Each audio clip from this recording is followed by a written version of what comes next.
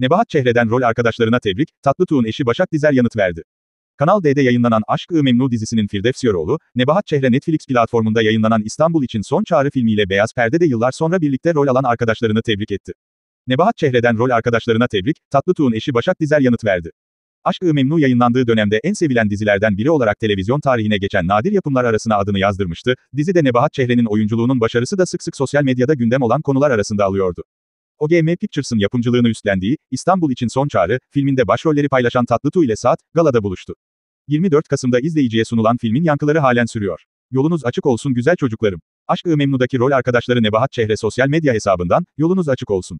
Benim güzel çocuklarım, ifadelerini kullandı. Tatlıtuğ'un eşi yapılan bu paylaşımı, kalpli göz emojisiyle yanıtladı.